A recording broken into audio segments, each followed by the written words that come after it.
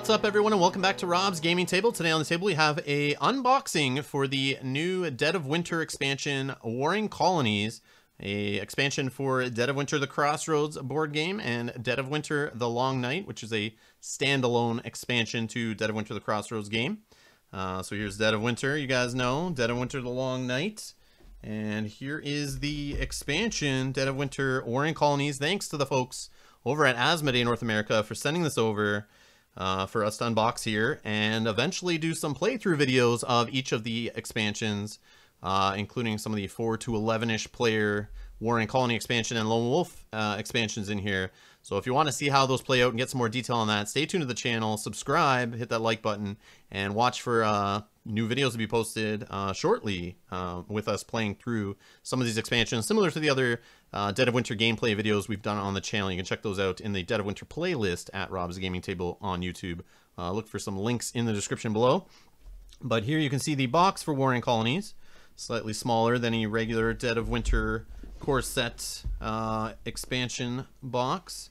Uh, you see it's a little thinner because it does not include the full board and all those bits. You uh, you do need um, the one of the core sets to play it at least. You need to own at least one of those games I showed you.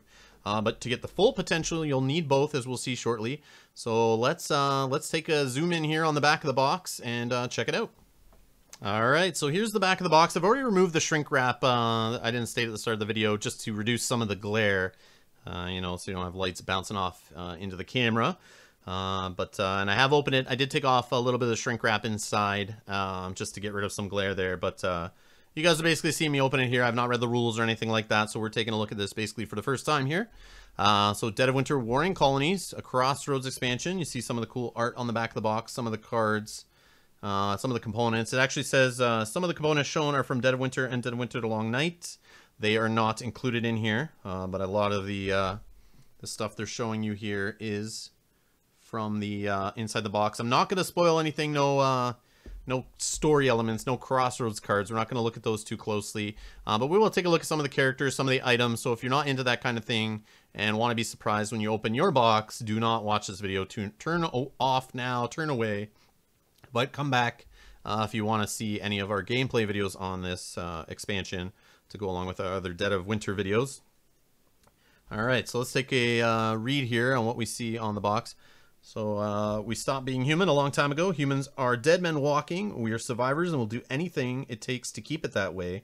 Dead of Winter Warring Colonies expands both Dead of Winter and Dead of Winter Long Night with new survivors, items, crossroads cards, and crisis cards. Additionally, if you own all three, so you have to have both core boxes and this play the new Epic Colony versus Colony variant for 4 to 11 players. Engage in high intensity battles over resources and territory. Race against time with the new simultaneous play mechanics. And play as the Long Wolf, loyal to none and driven by your own secret motives.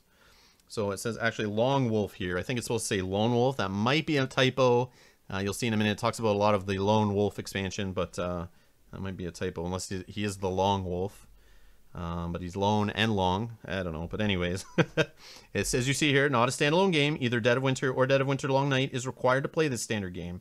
And both are required uh, to play the Warring Colonies variant as shown. Uh, and as you see down here, ages 14 and up.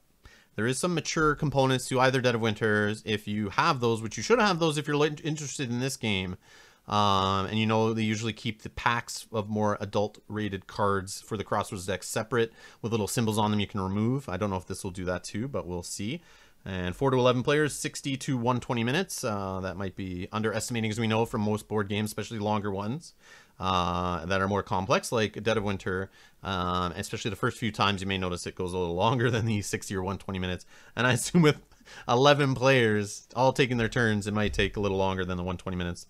Uh, but we will see. Inside the box you see here, uh, we have 50 Crossroad cards, 11 Crisis cards, main, 4 main objective cards, 15 Survivor cards, 1 Sand Timer, 2 Combat Dice, see 8 Lone Wolf Secret objective, objective cards, 14 Lone Wolf Mission cards, 10 Tactics cards, 33 Bullet tokens, 15 Survivor standees, 1 Lone Wolf Den location, 1 Combat Tracker, 1 Rulebook, 1 Lone Wolf Morale Tracker, 15 plastic stand, D stands, 43 random item cards, 10 player reference sheets.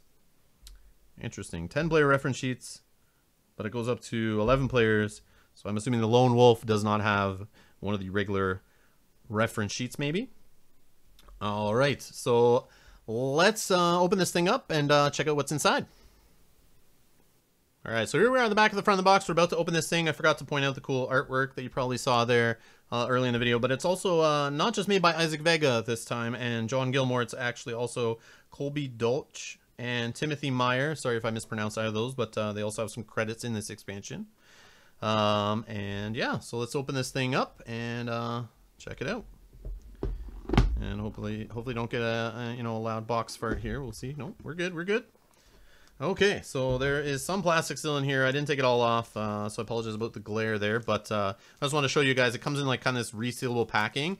And I've noticed lately, actually, with um, some of FFG's, uh, I like when they do this for like uh, Game of Thrones or Legend of the Five Rings where they have a bunch of pop-out tokens, but they're actually shrink-wrapped or wrapped in plastic. So if they pop out during shipping, they're not like bouncing around the box and getting damaged. I actually like that when they actually include the cardboard punch-out uh, sheets, I guess they're called, in um, plastic. And uh, so we'll open this guy here. And you see the instructions here. Uh, for Dead of Winter Warring Colonies, we're not really going to go in there, but uh, well, they got an explanation video coming. I'm sure Rodney Smith over at Watch It Played, if you guys haven't watched those, if you're getting into anything Dead of Winter, I'm sure he'll have a video up uh, teaching you about Warring Colonies. So go check out Watch It Played on YouTube if you want to learn how to play uh, many, many, many board games. Uh, he's helped me out in the past learn some board games quickly, and uh, send I send the links to other people to help them learn Dead of Winter before they come over and play. Uh, so go check that out uh, if you're interested. You can check it out at Plaid Hat Games. Uh, we'll link to the videos also. So in here we got some of the components. We already went through the components on the back. See a little shot of the sand timer there. We'll look at that stuff. Oh man, look at the game setup there. Oh boy. So this looks like your two colony boards from both sets. You see the Long Nights version there with the prison and the uh, snowy outdoors there um, for the regular Dead of Winter. And it looks like you got your little track there, your uh, graveyard from Long Nights in use. Uh, it's really cool. It's a good way to spice it up. I mean, there's tons of variety in both of the core sets, but you see the locations out in the middle here. They're fighting over them, and that's what I assumed when I read about this game when they uh, announced the first details in May. And they actually had a demo at Gen Con. I did not get to play it, but I did take a glance at it. Um, but it was kind of cool to see the setup uh, where you can have your two colonies warring against each other. Um, and we assumed that it was in the middle over over some locations, just similar to you know those Dead of Walking episodes or the Walking Dead episodes. Sorry, uh, where you know you have your your one colony and they're going into town and they bump into another colony and they're fighting over the resources or the locations. Uh, it's that kind of thing. And yep, tells you what you need from uh, each collection to get going.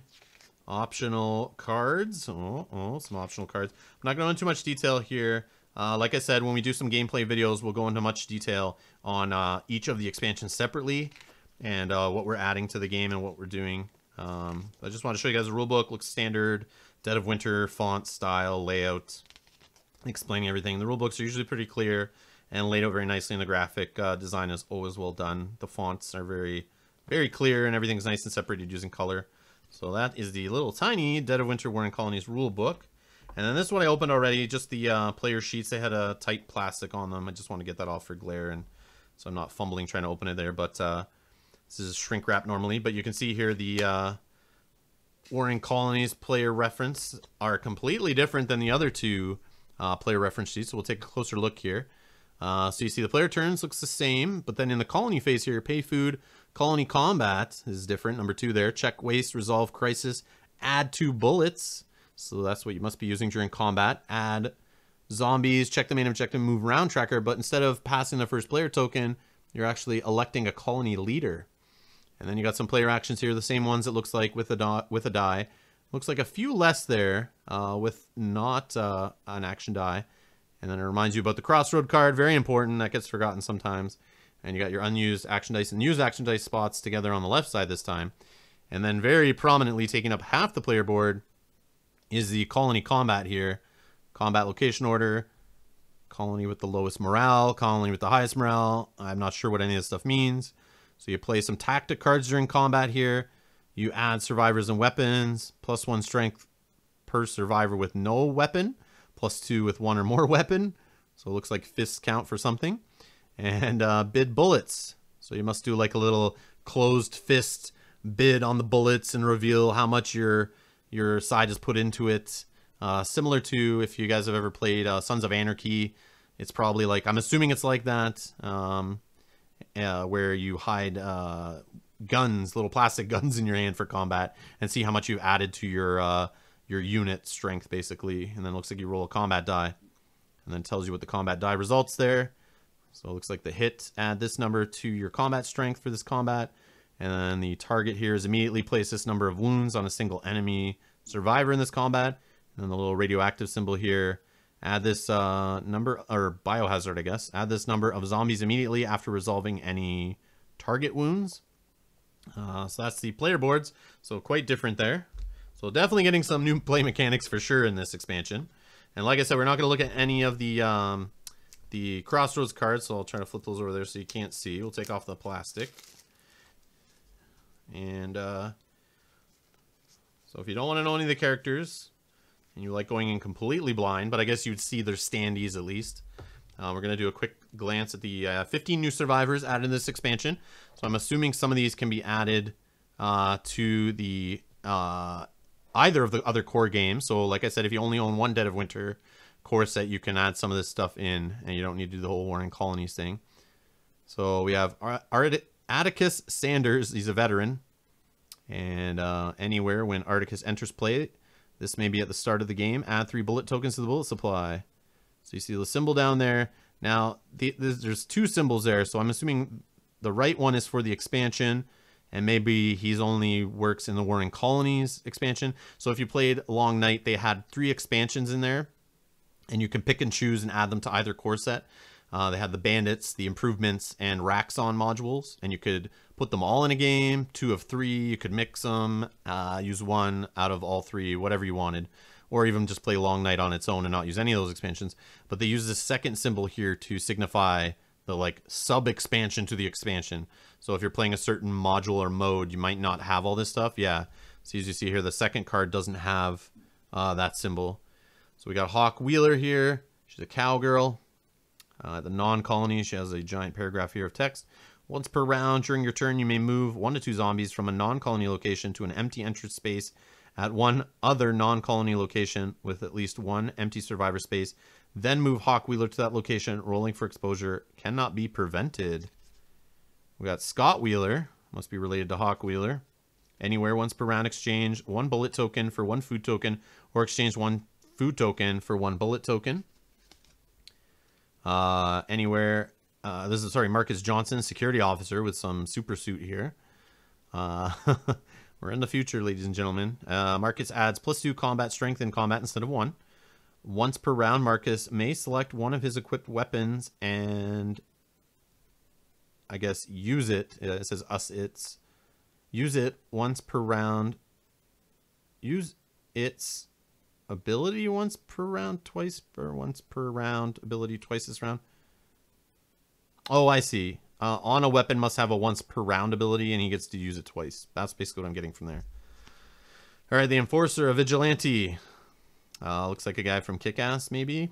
That's uh, where that inspiration is from. Non-colony, use a 4 plus die.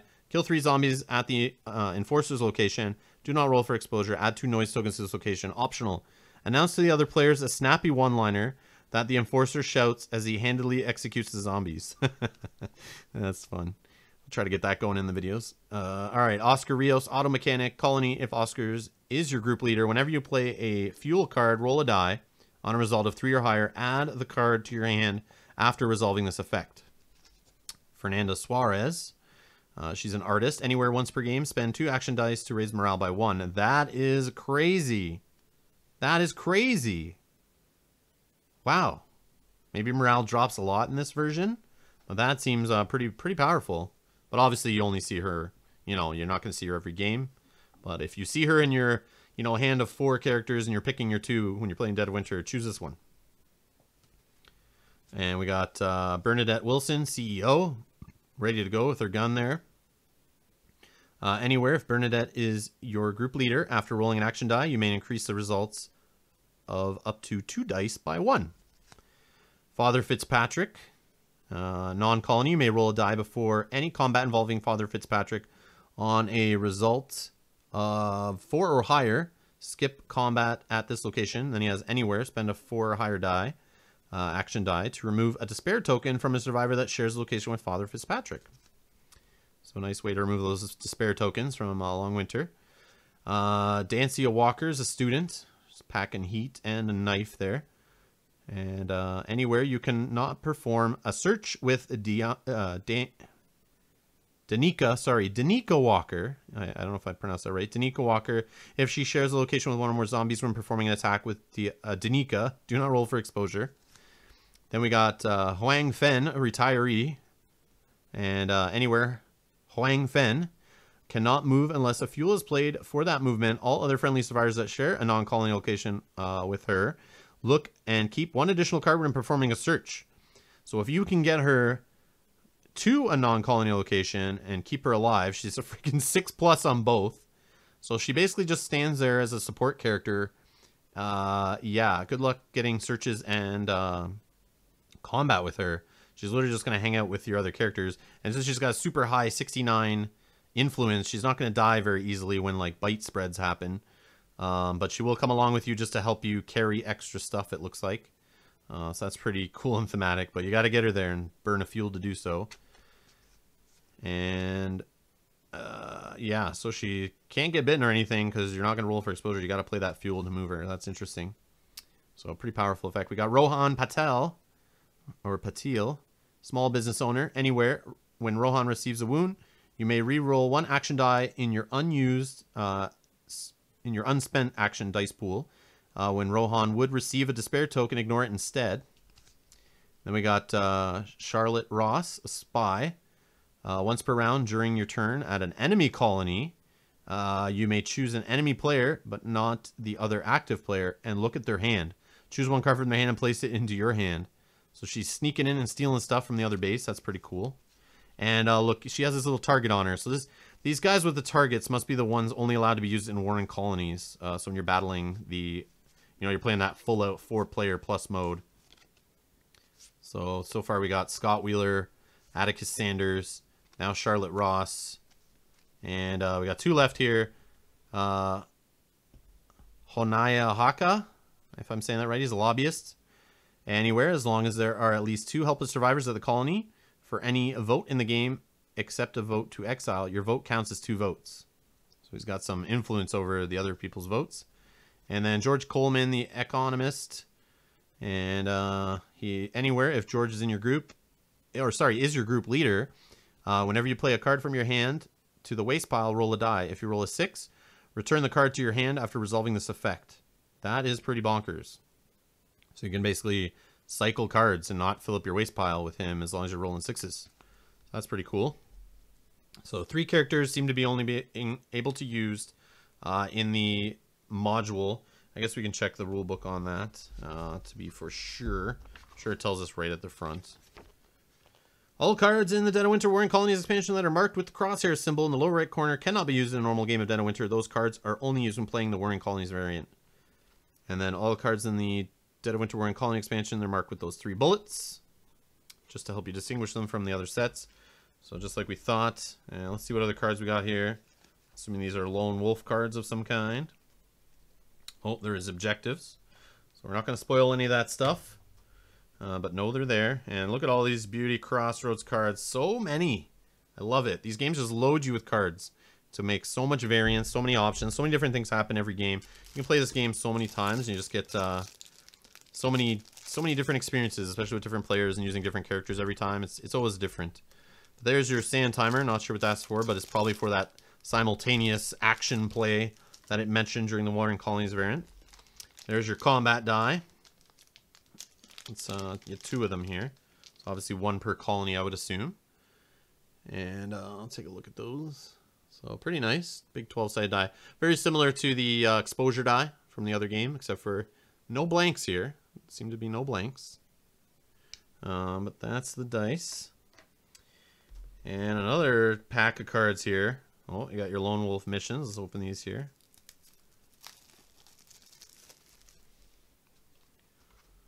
So you got your Lone Wolf mission cards. And we're not going to show you any of that stuff. Uh, we got our, we got some new, um, and these are all Warring Colony, um, what do you call them? Like your objectives or setup cards, basically to decide what what's what's the goal of your missions. Uh, there's four of them there with hardcore mode, hardcore modes on the back. And then we got some crisis cards, and a few of them have the uh, warring colonies uh, thing on the bottom. So I'm not going to spoil any of these for you. Because I know Dead of Winter is one of those games where like it's nice to have that discovery element where you shuffle up those random decks, especially the first few times you play. You never know what's going to come up, and it's super shocking. It makes it a little harder, but then eventually once you start getting a feel for things, it's kind of like, you know, similar to, you know, living out in the uh, freezing cold, trying to survive the winter after the zombie apocalypse you start as days go by and and you live each day, add some more experience. You kind of know what to expect and what to deal with day to day and how to prepare better. So that's how I look at it. So, yeah, go in blind, folks, as much as you can. I think. Um, here's some item decks. Oh man, way more. Look at all these items. Random items. So I'm not sure the idea with the random items. I don't know if they just get shuffled in different decks. Oh, Mice and Mystics, that's cool. You get a board game, raise morale by one. So I don't really want to show these either, just in case people don't really want to get into it. But all you need to know is there's tons of items. Some of them are, you know, you get a few copies of coffee here. But uh, you get some weapons, bullets, and these are Warring Colony uh, specific. So as you can see here, I'm going to estimate you know, 20-ish percent of this expansion, at least, is probably, maybe less, maybe less than 20%, but uh, you're going to need both uh, the other full games to get the full experience here out of Warring Colonies. So please know that going in. If you only have one Dead of Winter core set, getting this, you know, might be all right. It'll add some new stuff to the games, which are cool, but if you want to get the full experience of this expansion, get both Dead of Winter games and play it, and both are awesome. You're not going to go wrong there. Um, yeah, you can start start with either or. Just the original Dead of Winter is a little more simple, like there's less stuff to it. Um, but then obviously Long Night is you know a full game plus some modules. Um, so you get you get a bit more there in that box. And then here you have, I think these are the combat cards. So you probably get some of these in your hand and can play these during combat to add some effects.